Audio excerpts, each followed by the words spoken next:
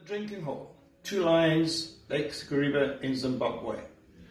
A, um, remembering, remembering the days in South Africa on an excursion on Lake Kariba on a houseboat.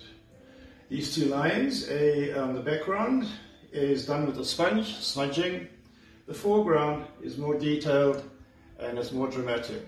The reason why it's all this dramatic in the foreground is so that you don't lose the connection between the lines, the eyes focused on you, which is the focal point. The lines themselves have been done with a palette knife, and a, like I said, the background is less dramatic, it's done with a sponge. The foreground, it is used a, um, using a drywall palette knife and moving across from side to side to get the water effects. A, um, again, this is one of our events that uh, is very memorable to me, and uh, um, the view of the eye eyes, the focal point, is good conversation piece.